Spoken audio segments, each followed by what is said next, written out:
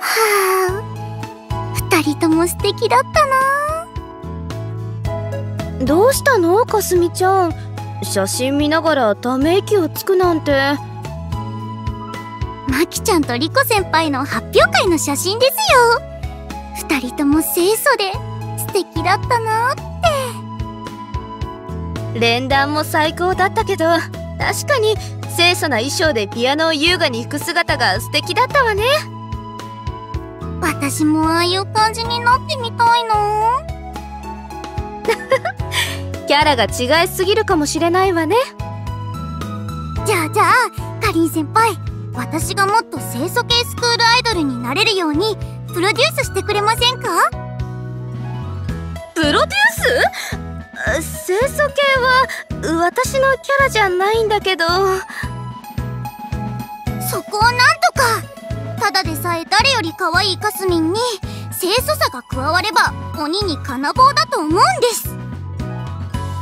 そうね。シチュエーションにこだわればかすみちゃんも清楚な雰囲気を出せるんじゃないかしら。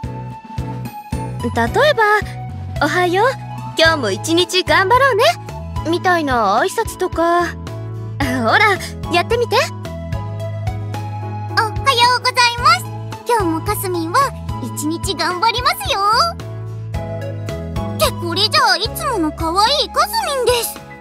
かりん先輩もっと本気出してプロデュースしてください。うん。私自身も清楚系を目指すくらいの勢いで考えないとダメみたいね。かすみさん今日の放課後一緒に勉強しませんか？あはい。なんて私のキャラからかけ離れすぎてるかしら。ぐー。かりん先輩の方が清楚化してきてるじゃないですか。そそう？ずるいですよかりん先輩。自分だけ清楚系スクールアイドルになっちゃって。私からしたらかすみちゃんみたいな可愛らしさが羨ましいけど。え？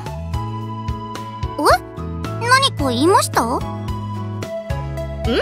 何も？ほらほらもう一回練習してみましょう